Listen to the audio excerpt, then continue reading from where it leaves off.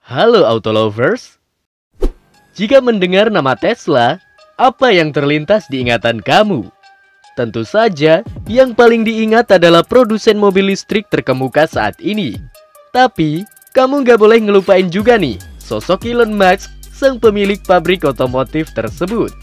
Soalnya nih, berkat kesuksesannya membesarkan Tesla hingga saat ini, Doi juga termasuk dalam sederet triliuner muda yang memiliki aset berharga di kehidupan pribadinya. Penasaran seberapa sultankah dia? Dalam segmen Auto Sultan kali ini, kita bakal membahas berbagai koleksi kendaraan mewah dan kekayaan Elon Musk.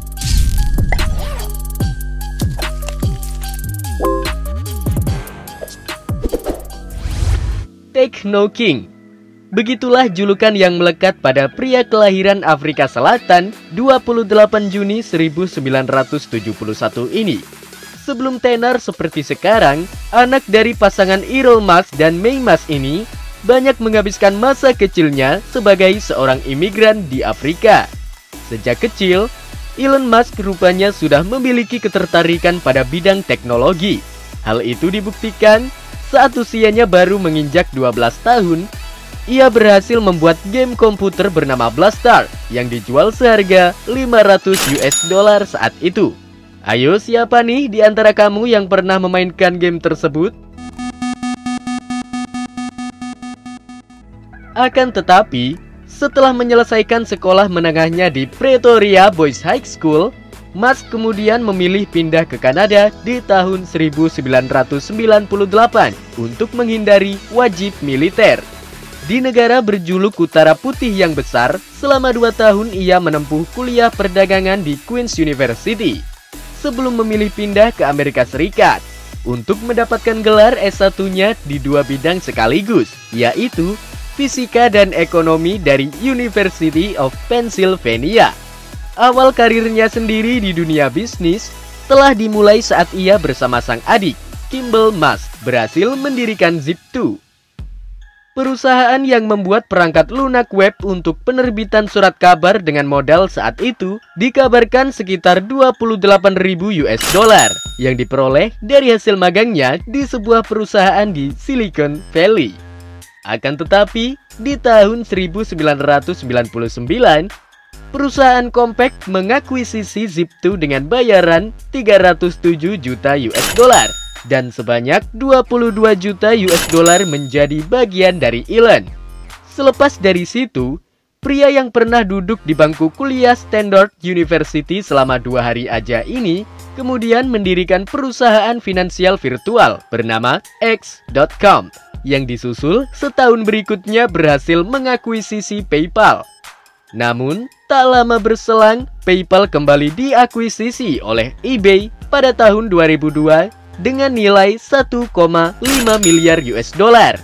Dana fantastis sebesar 165 juta US dollar juga turut masuk ke kantong pribadinya sebagai pemilik saham terbanyak.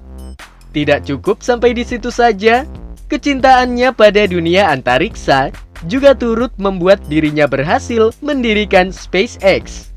Perusahaan yang memiliki misi membuat penerbangan luar angkasa dan membuat peradaban manusia ke Mars karena ketakutannya akan kepunahan umat manusia di bumi.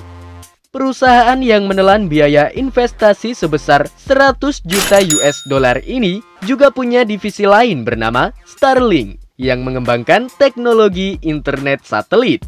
Barulah setelah itu, di tahun 2003, pria yang memiliki tiga status kewarganegaraan sekaligus ini mendirikan produsen mobil listrik yang kini semakin mengalami perkembangan cukup pesat. Beberapa perusahaan lain seperti Boring Company, Neuralink, dan OpenAI juga diketahui menjadi perusahaan yang dimilikinya.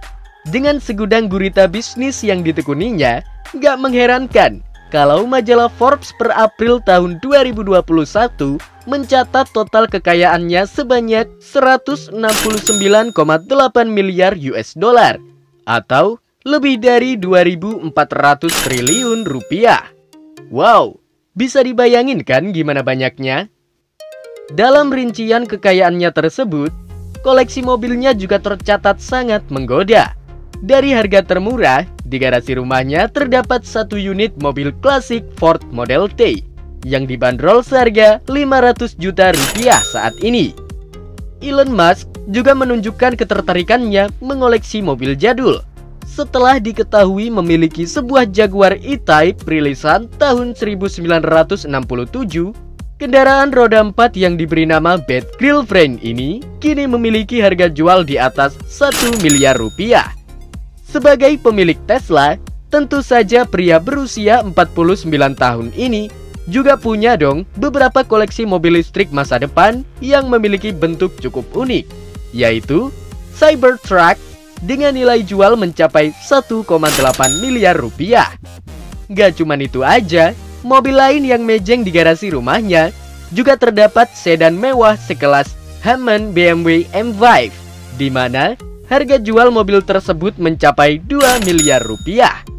Pebisnis yang menghabiskan waktu sekitar 100 jam per minggu untuk jam kerja mengurusi beberapa perusahaannya ini juga dikabarkan telah membeli Audi Q7 seharga 2,4 miliar rupiah. Mobil ini juga diketahui menjadi inspirasi bagi dirinya untuk membuat model pintu sayap elang pada mobil garapannya Tesla Model S. Lalu, untuk harga yang lebih mahal lagi, Porsche 911 yang dihargai mulai dari 3 sampai 4 miliar rupiah juga turut menjadi kendaraan pribadi untuk mendukung aktivitasnya.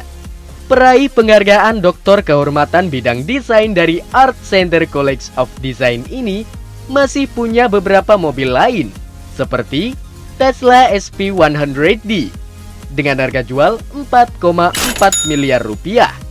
Disusul mobil kapal selam Lotus Esprit Submarine yang tembus di harga 13 miliar rupiah lebih. Sebenarnya, Elon Musk juga memiliki McLaren F1 dengan harga jual sekitar 14 miliar rupiah. Namun, mobil tersebut dikabarkan mengalami kecelakaan beberapa tahun lalu. Duh, sayang banget ya. Selain berupa kendaraan roda 4 dengan harga fantastis, seperti kebanyakan orang kaya pada umumnya, pria berzodiak Cancer ini juga memiliki jet pribadi Gulfstream 650 ER untuk memenuhi kebutuhannya untuk berkunjung ke berbagai tujuan. Pesawat yang sanggup menempuh jarak terbang hingga 12.000 km ini diketahui punya harga jual di atas 900 miliar rupiah. Bukti lain ketajiran pria yang hobi membaca ini juga bisa dilihat dari kepemilikannya atas berbagai aset di sektor properti.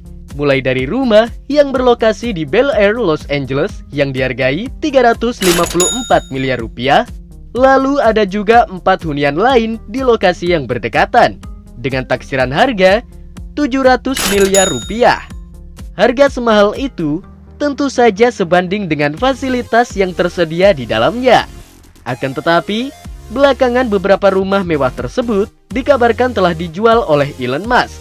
Hal itu mungkin saja berkaitan dengan pernyataannya beberapa waktu lalu yang mengatakan nggak pengen memiliki rumah. Waduh, jangan-jangan udah ada rencana pindah ke Mars nih bos.